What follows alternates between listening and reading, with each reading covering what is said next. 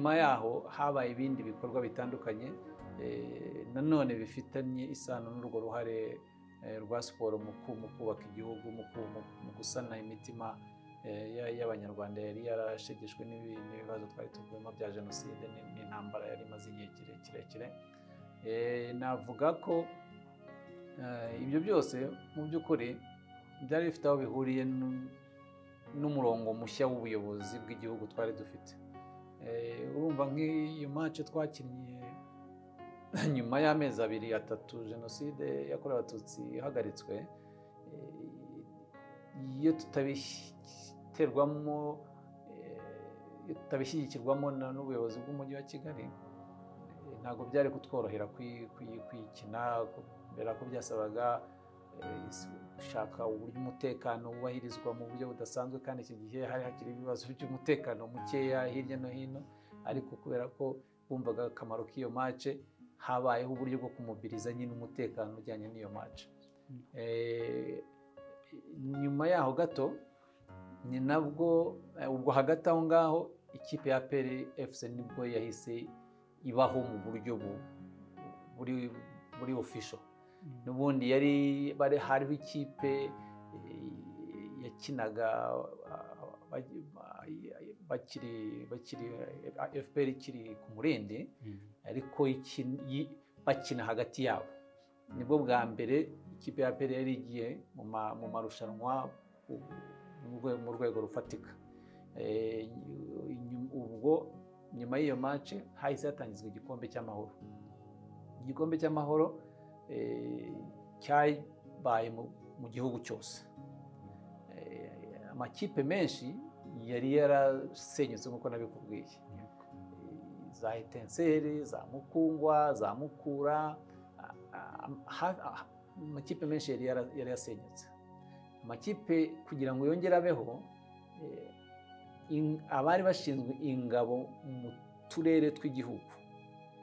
Kubera ko ari bo bari abayobozi bayobora icyo gihe kandi nabo bari bafite urubyiruko kubera ko urubyiruko rwari ruhari icyo gihe rwari mu gisirikare. Batangije amakipe. Izi kipe ubona zitwa intare efuse hari iyitwaga volukano yabaga yabaga yabaga mu ruhengeri cyangwa i musanze volkanike yesi yesi marine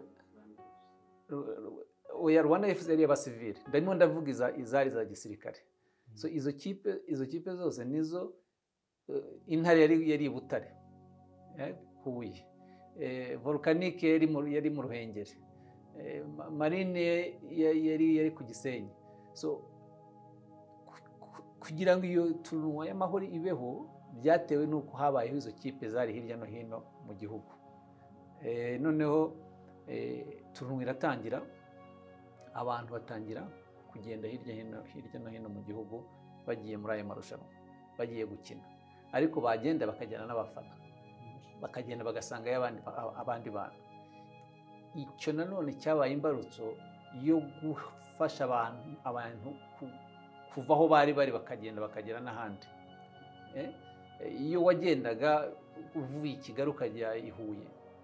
Cyangwa ukava i kigali ukajya i musanze byakubakagamo ikindi cyizere iyindi myumvire y'uko uvuga ko ubuzima bwagarutse koko.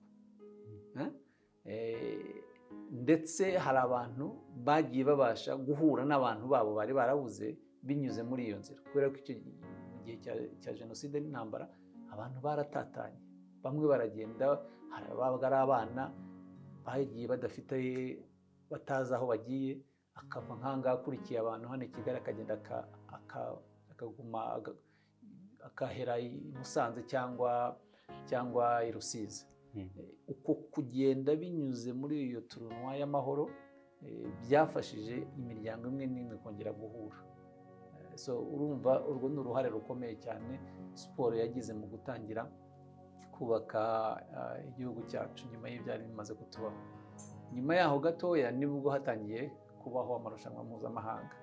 Amakipe yacu rwose atangira gusohoka ikipe y'igihugu igishyirwaho nyuma y'imyaka irindwi itari iriho.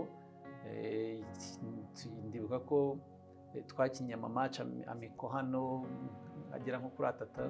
Mu ikipe y'igihugu dukina n'ikipe zavuye i bugande cyangwa i burundi. Mu kwezi kwa kabiri mirongo icyenda na gatanu ni bwo ikipe y'igihugu yasohotse mu marushanwa ya sekafa bwa mbere. Ni bwo twari tugiye mu marushanwa ya sekafa bwa mbere nk'u rwanda yari yabereye i kampala. Amakipe nka rayon siporo kiyovu mukura atangira kujya asohoka mu marushanwa mpuzamahanga. Uko kujya hanze na byo byafite ikindi kintu byongeyeho muri mu mikorere mu buryo igihugu cyarimo cyiyubaka hari abanyarwanda benshi benshi benshi. Bari barahunze igihugu nyuma ya jenoside. Mu bari barahunze igihugu harimo abari barahunze kubera impamvu. Bafite impamvu bahunze kubera ko bagize uruhare muri jenoside. Ariko hari na benshi cyane bajyanywe buhumyi. Baragenda bajya mu bihugu binyuranye bya afurika kubera ko abakoze jenoside babatwaye nyine babatwaye nk'ingwate. Abenshi muri bo bari bafite amakuru mabi cyane y'uko u rwanda rw'icyo gihe rwari rumeze ku buryo batinyaga kugaruka. Kubona ikipe runaka yaje gukina nko muri gabo cyangwa muri congo brazzaville ari ikipe y'u rwanda irimo abakinnyi wari uzi mbere y'uko uhunga ukaza ku kibuga ukayibona ugahura n'abo bakinnyi mukaganira. Byubatsemo abatari bakeya icyizere cyo kongera gushaka kugaruka mu gihugu cyabo. Byibuka rwose hari ibiganiro twagiranaga n'abantu twasangaga muri ibyo bihugu. Bakaza bati mu rwanda bimeze gute? Baratubwiye ko nta bantu bakibaho none dore kanaka ndamubonye n'iki ese buriya ngarutse? Abakinnyi b'amakipe icyo gihe nibo babaye ambasaderi b'igihugu ba mbere. Nibo bagendaga bigisha abantu basobanurira abantu ko u rwanda rushya ruhari rutafite imikorere n'imitekerereze nk'ibyo bari barasize. Ibyo rero rwose byatanze umusanzu ukomeye cyane. Nagira ngo nsoreze wenda ku byabaye nyuma gatoya. Imyaka nk'icumi nyuma y'aho jenoside yakorewe abatutsi ihagarariye.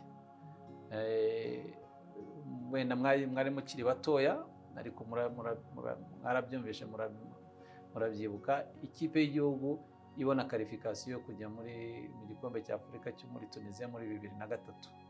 Yabonye karifikasiyo muri bibiri na gatatu hanyuma ijya mu gikombe cya afurika muri bibiri na kane. Iyo mace na yo ni imwe muri mace y'amateka ajyanye n'uburyo siporo umupira w'amaguru by'umwihariko byagize uruhare mu kongerera abanyarwanda icyizere cy'uko ibihe bibi turimo tubivamo turimo tugana mu bihe byiza ubu tumazemo iyi myaka yose iyo mace rwose yagize uruhare rukomeye cyane. Hari hari ikiganiro hari dokimenteri iba kuri amazone bita ngo this is football. Ivuga mu ruhare rw'amateka y'umupira w'amaguru mu kubaka imibanire hagati y'abantu mu gufasha kominote zahuye n'ibibazo bya konfuri kongera gusubirana harimo n'igice cy'u rwanda. Harimo n'igice cy'u rwanda aho bakurikirana ubuzima bw'abafana ba Liverpool ba hano mu rwanda. Harimo ndetse na bamwe muri bagenzi banjye twakinanye harimo batisita bavuga ku buzima bwe witwa ubuzire nawe hakaza kuzamo na interiviyu ikiganiro cya nyakubahwa perezida wa repubulika. Bamubaza nawe uko abyumva uko abibona uko yabibonye umupira w'amaguru waba waragize uruhare mu kubaka no mu gusana igihugu cyacu. Perezida wa repubulika bivuga mu magambo ye avuga ngo aravuga ngo ngo ntashaka ntabwo abivuga nk'umuntu ukabya. Ushaka gukabya inkuru. Ati ndabivuga nk'umuntu wabibaye hafi wari ubirimo wakurikiranaga uburyo iyo kipe yiteguraga ariko nanone n'umuntu wari mu buzima bwa buri munsi bw'igihugu. Ati iriya mace kuba twaratsinze ikipe y'igihugu yaratsinze ikabasha kugera kuri uriya rwego. Ni ibintu byatanze eh, umusanzu ukomeye cyane mu bikorwa twarimo nk'ubuyobozi bw'igihugu. Mu myumvire ari twe mu bayobozi ndetse n'abanyarwanda muri rusange ko koko ibyo twarimo bishoboka.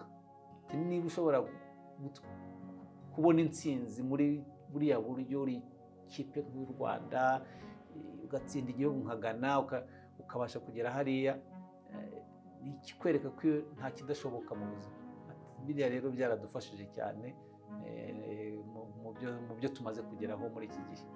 So ya ni ibyo ngibyo numva navuga bijyanye n'uburyo eh, siporo futuboro by'umwihariko